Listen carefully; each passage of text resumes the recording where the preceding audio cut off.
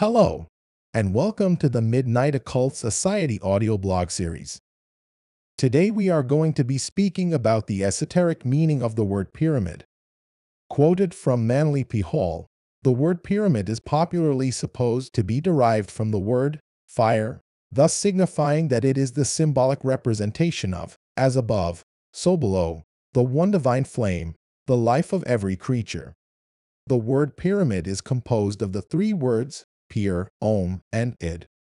The meaning of pyr is from Latin, which is derived from the Greek pura, meaning fire. The word om is the sacred syllable used to represent God, such as in the ancient Greek name, Amen, that later becomes the last letter in the Greek alphabet, omega, meaning the great Om. As it is said in the scripture, I am Alpha and Omega, the beginning and the end, the first and the last. Revelation 3:14, the last word in pyramid, is id, which means the part of the mind in which innate instinctive impulses and primary processes are manifest.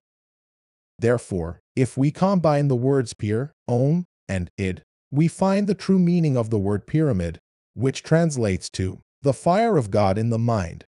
This fire is inherent in all living creatures, on the so below, here on earth, and also in the heavens, in the as above.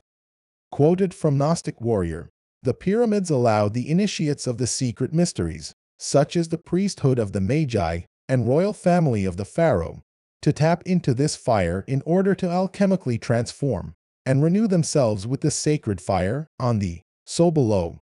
These were the holy rites of initiation of the pyramids into the immortal mysteries of the gnosis of the soul through the divine sacred fire of the universe. This concludes our audio blog on the esoteric meaning of the word pyramid. The content of this video was produced exclusively by the Midnight Occult Society, all rights reserved.